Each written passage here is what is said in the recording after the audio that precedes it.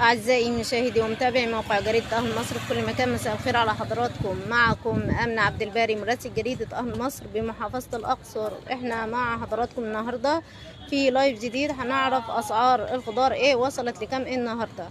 الأحوال الجوية وارتفاع طبعا الأقصر بتشهد ارتفاع شديد في درجات الحرارة فصل الصيف في هذا العام. شهدت ارتفاع ملحوظ لم تشهده خلال الأعوام السابقة مما أثر ذلك على المحاصيل الزراعية وخاصة الخضرة.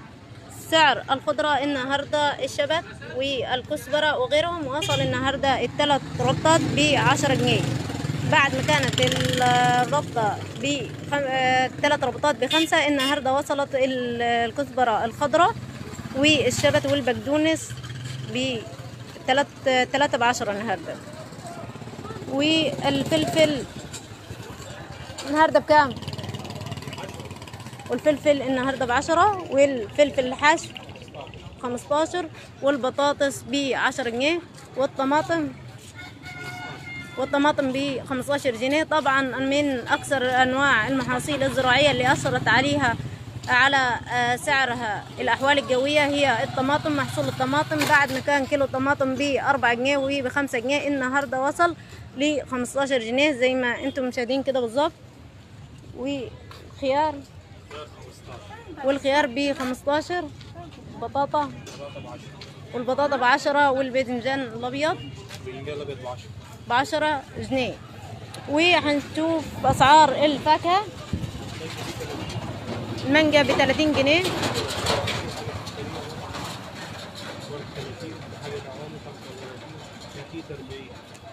المانجا أسعارها مختلفة ومتفاوتة. بتبدأ من 30 ل 40 جنيه. والجوافة آه والجوافة النهاردة بعشرين جنيه. والموز والموز بعشرين جنيه. زي ما مشاهدين معانا كده بالظبط. تعتبر أكتر الأنواع الخضرة اللي فيها ارتفاع في أسعارها النهاردة. الطماطم اللي هي وصلت لي 15 جنيه.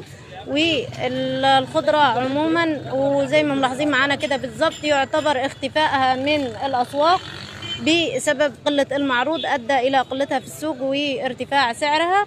الثلاثة النهاردة بخمسة الثلاثة النهاردة بعشرة بعد ما كانوا الثلاثة بخمسة.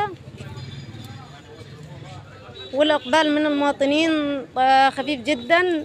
يعني زي ما نقول كده شبه منعدم بسبب ارتفاع أسعار الخضار واللي أثر على ذلك هي شدة الحرارة الشديدة اللي بتشهدها محافظة الأقصر حيث محافظة الأقصر وصلت درجة الحرارة فيها خلال الأيام الماضية ودلوقتي إلى 46 درجة مئوية مما أثرت على المحاصيل الزراعية وتسببت في ارتفاع أسعار الخضرة وبقية أنواع المحاصيل زي الطماطم والخضرة. زي ما أنتم مشاهدين معانا كده بالظبط إحنا دلوقتي في السوق ما فيش هنا موجود إلا الشبت بس. في أماكن أخرى هنجد ثلاث أنواع موجودين والثلاث أنواع دول الثلاثه بعشرة النهارده الكزبرة